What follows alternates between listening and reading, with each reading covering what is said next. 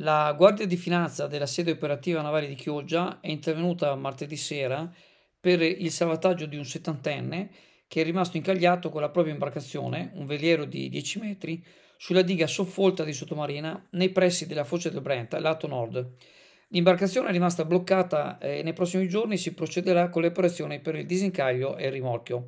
La diga soffolta è una delle infrastrutture costruite per difendere il litorale dalle mareggiate sempre più frequenti. Purtroppo non è particolarmente visibile, ma è segnalata sulle carte nautiche.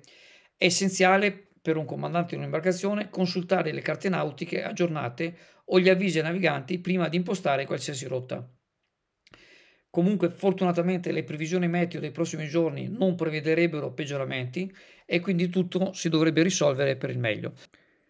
Si tratta del secondo salvataggio effettuato dalla Guardia di Finanza nel giro di pochi giorni. Domenica scorsa, come ricorderete, era stato soccorso uno yacht bimotore di 39 piedi che aveva iniziato a imbarcare acqua mentre si trovava al largo Chioggia, del, del porto di Chioggia. A bordo dell'imbarcazione si trovavano sette persone, tra cui due bambini. Un equipaggio della Guardia di Finanza a bordo del VAI 304 era intervenuto tempestivamente, effettuando una riparazione provvisoria a un manicotto che perdeva, risolvendo così la via d'acqua e ristabilendo la stabilità dell'imbarcazione. Il motoscafo ormai stabile è stato poi scortato dalla Guardia di Finanza fino ad Arsena San Felice, dove è stato poi sottoposto ai controlli necessari. Buongiorno, sono Roberto Pincerato, presidente di IODA, il tuo consulente assicurativo.